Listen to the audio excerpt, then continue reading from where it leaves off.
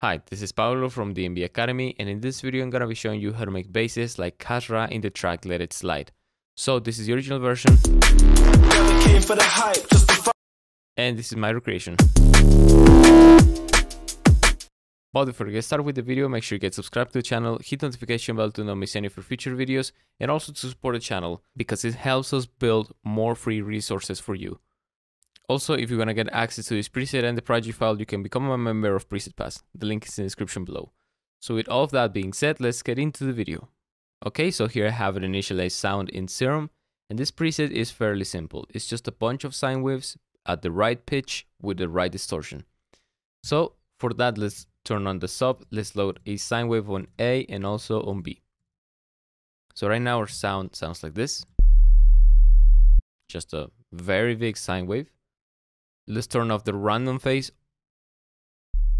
And now let's look for a spot that doesn't cancel the sub. So let's turn off oscillator B.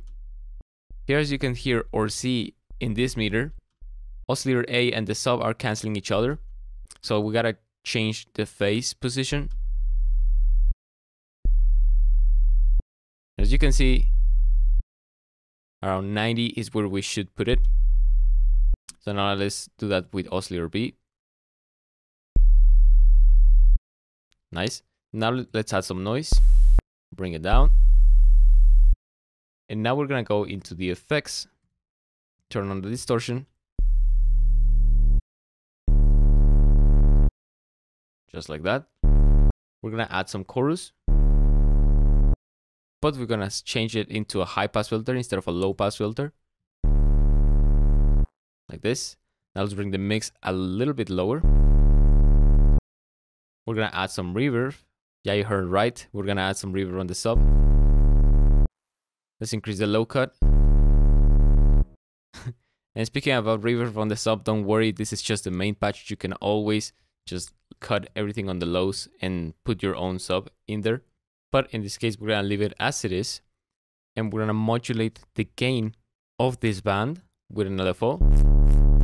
Like that but we gotta make this LFO slower. For example, something like two bars, then create a shape that goes up and then down very quickly. So let's make a curve like this. Just like that. So we can have the movement, but we are lacking the harmonics. Let's just adjust something in this EQ real quick. Let's hold Shift and Alt and then click on the gain knob to switch the modulation to unipolar Let's bring the amount down. Just like that. And now let's change this into a peak. Bring the Q down. And now we can change the frequency.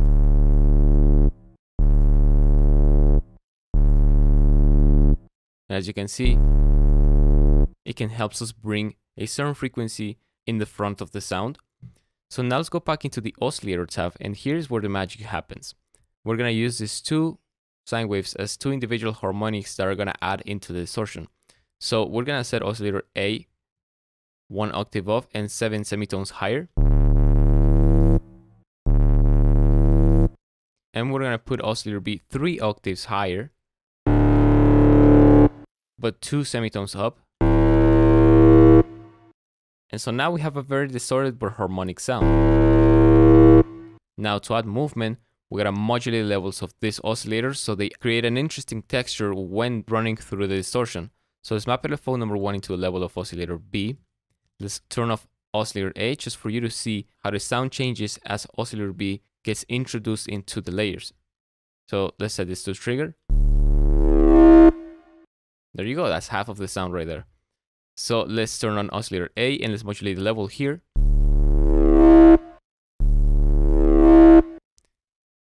And here is where I highly recommend you to experiment with stuff. For example, how much of the sub should go through the distortion, how much of this oscillator should go. And this will change the texture. Also how much noise and also the mode of distortion. For example, let's change to a sine shaper. Let's add more sub.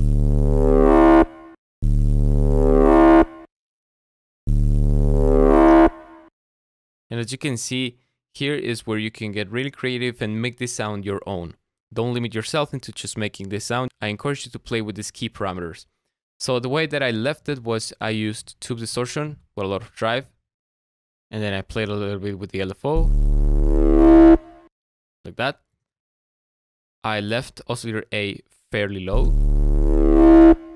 Like that. And then now let's jump into some post-processing. Cool, so first thing that we're gonna add is some trash. And here in trash, we're gonna activate the multiband mode. And I'm just gonna drive a little bit the sub, a lot of the mids, and completely blast the highs. Just like that. Cool. Now let's just simply add some EQ and accentuate certain frequencies. For example, around 420 or maybe 700 or 200 sounds good. And now let's just add a saturator and turn on the soft clip so it just controls the peak and there you go. Now let's play this. And also to add a bit of funk into the sound the original track introduces this sound after the kick hits. So let's just mute everything. And this will be the sound. Now with the kick. Let's introduce it later. There you go.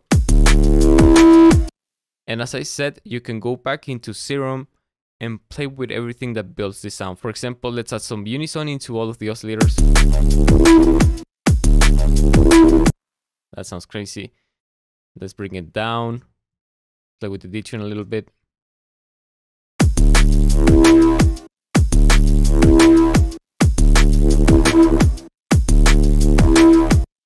Let's also change the harmonics.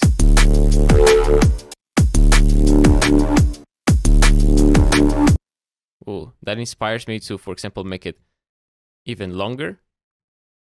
Make the MIDI longer. And maybe put this LFO into the pitch of the noise.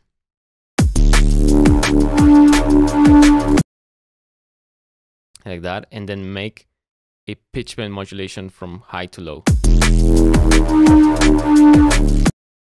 That'll be a cool variation for a second drop, for example.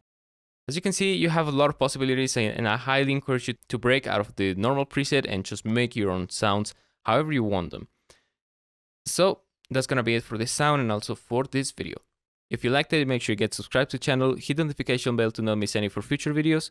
And if you want to get access to this preset and the project files, you can become a member of Preset Pass. The link is in the description below. So thank you so much for watching. Hope you have a nice day and I'll see you in the next video. Bye bye.